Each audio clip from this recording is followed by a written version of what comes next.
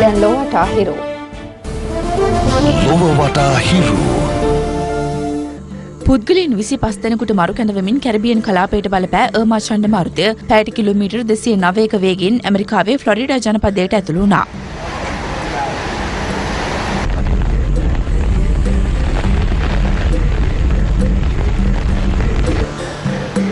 මෙවන විට පුද්ගලින් තිදෙනෙකු ජීවිතක්ෂයට පත් පැති බව එරට මාධ්‍ය වාර්තා කළා.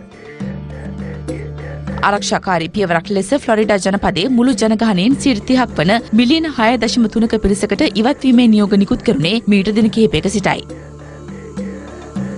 මෙවන විටත් හැත් ඇද දහසක පිරිසක් ප්‍රාන්තය පුරා ස්ථාපිත කර තිබෙන තාවකාලික රඳු මධ්‍යස්ථාන තුන්සිය අනුවක රැඳී සිටිනවා.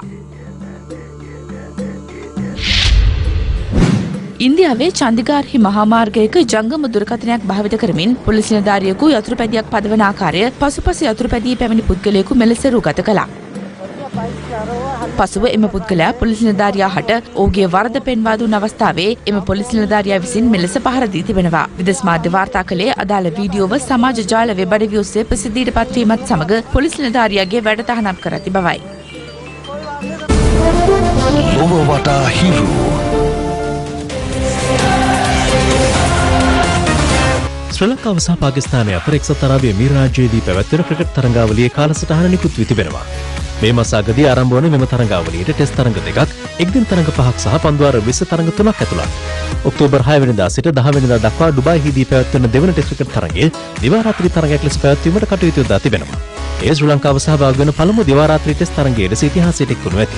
මෙම තරඟාවලිය අවසන් තරඟය වන තෙවන පන්දුවාර 20 තරඟය පාකිස්තානයේ ලාහෝර් නුවරදී පැවැත්වීමට සැලසුම් කර ඇති අතර ආරක්ෂක තත්ත්වය පිළිබඳ නැවත සලකා බැලීමකින් පසු එම තීරණය ස්ථිර කිරීමට නියමිතයි.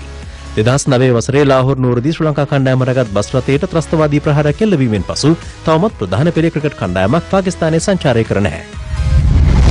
ශ්‍රී ලංකා කණ්ඩායමේ හිටපු ප්‍රධාන පුහුණුකරු ග්‍රහැම් ෆෝඩ් අයර්ලන්ත ජාතික කණ්ඩායමේ පුහුණුකරු තනතුර සඳහා වසර තුනක ගිවිසුමකට අත්සන් තබා තිබෙනවා.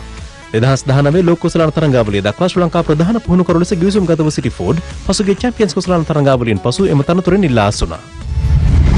දින දෙකක් පුරා පොළොන්නරුව ජාතික ක්‍රීඩාංගණයේ පැවති මහවැලි ක්‍රීඩාවල ලද අවසන් වුණා. මෙවර තරංගාවලියේදී බිහි වූ නව තරඟ වාර්තා සංඛ්‍යාව පහක්.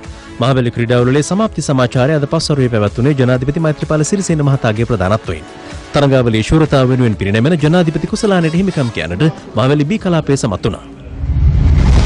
ජාතික ඔලිම්පික් කමිටුව මගින් පවත්වනු ලැබූ ක්‍රීඩා කළමනාකරන උසස් පාඨමාලාව සාර්ථකව හැදෑරූ වෘත්තිකයන්ට ඩිප්ලෝමා සහතික පිරිනැමීම පසුගියදා සිදු කෙරුණේ කොළඹ පිහිටි ඔලිම්පික් නිවහනේදී. වෛද්‍ය අධ්‍යාපන සහ ආරක්ෂක අංශවලට සම්බන්ධ ක්‍රීඩා වෘත්තිකයන් 13 දෙනෙකු මේදී ඩිප්ලෝමා සහතික ලබා ගත්තා.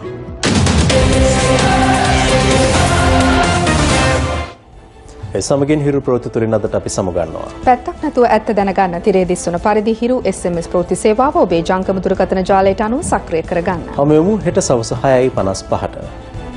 සුබ රාත්‍රියක්.